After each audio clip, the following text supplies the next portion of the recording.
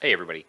I wanted to make a video and kind of outline an issue that I am experiencing with my um, Insta 360 Go 2 uh, camera. So this is an action camera that just came out recently. Um, I ordered mine, I think at the beginning of April, and it just shipped to me and got to me here in the last four or five days. I think uh, April the 26th or something like that. So, uh, firstly, I want to say this is a great camera.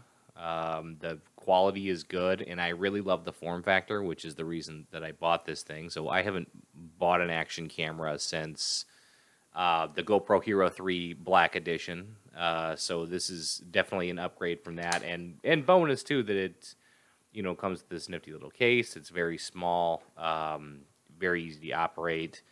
Uh, the problem, unfortunately, uh, that I experienced almost instantly out of the box with this thing is related to uh, its ability to connect to the Insta360 app. So the app um, is an important part of using this camera because uh, you know you connect to the app, you can frame shots before you hit record. Um, you know, be able to see that through the app screen.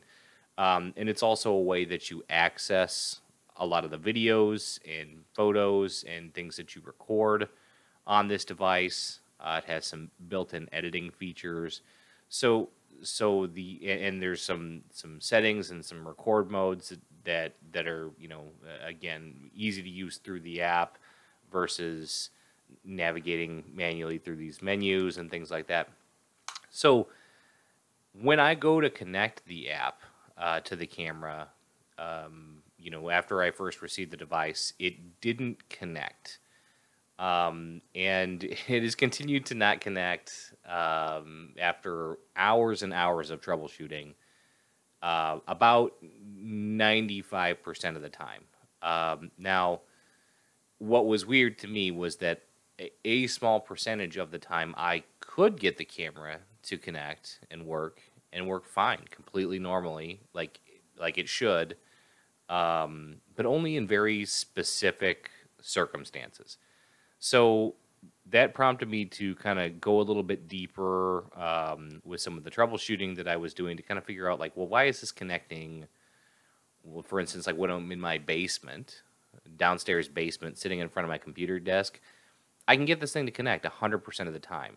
Versus, um, you know, right now I'm out in my workshop, or if I'm out in my yard, or elsewhere upstairs in my house, you know, I can't get it to connect. Or it may connect for maybe 30 seconds and then hang and, and then disconnect. So clearly there was there was something going on. And when I look at the phone, um, and I go to my phone's Wi-Fi networks and I watch you know the the Wi-Fi network that this thing is supposed to be pushing out. Like sometimes I would see it show up and then disappear. So I got a Wi-Fi analyzer and I started going around and looking at what are the what is the Wi-Fi signal doing when I am like sitting in my basement where it's working versus when I when I'm out here. What's the difference between those two things? Why does it work one place and, and not the other?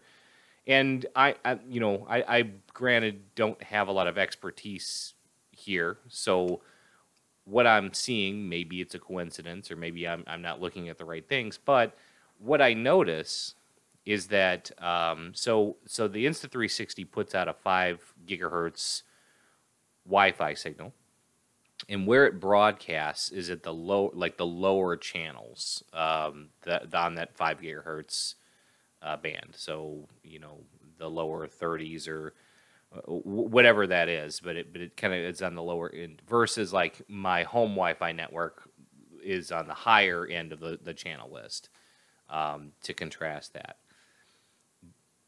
And there are some other things. So so like my neighbor's Wi-Fi. Um, sometimes, and you know, in various places in my house, I will pick up if I look on a Y Y analyzer, like the lower end. They're also broadcasting at the lower end of, of the channels. So, or you know, uh, some of the other networks, Wi-Fi networks in the neighborhood. So what I notice is that anytime there is any other Wi-Fi network broadcasting in the same range of channels that the Insta360 Go 2 would be broadcasting, the Insta360, Insta360 camera is not broadcasting its network at all.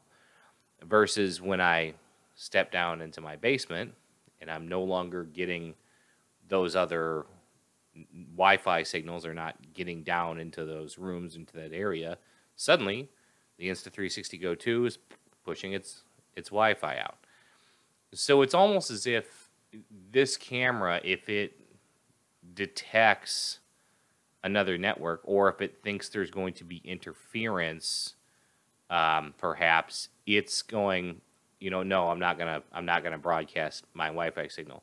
Now, I'm not sure if that is something that's the software is doing by design, if that's a result of the Wi-Fi radio that they have built into this. I, am not sure, and I've and I've tried to troubleshoot this with Insta360 support, um, and you know we did we didn't get too far. So what what they're telling me right now is uh, they want me to send my camera back in to have a repair shop look at it.